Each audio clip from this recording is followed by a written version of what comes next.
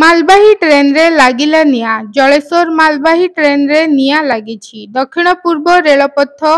রূপসা স্টেশনরে এভাবে ঘটনা ঘটিছি কইলা বোঝেই হয়ে স্টেশনরে ছিড়া হইথিবা বেলে নিয়া লাগি যাইছি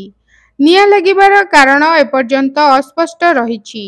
তেবে বালেশ্বর অগ্নিশম বিভাগ পৌঁছি নিয়া লিভাউছি কেমিতি নিয়া লাগিলা সে নেই রেলবাই পক্ষর তদন্ত আরম্ভ হয়েছে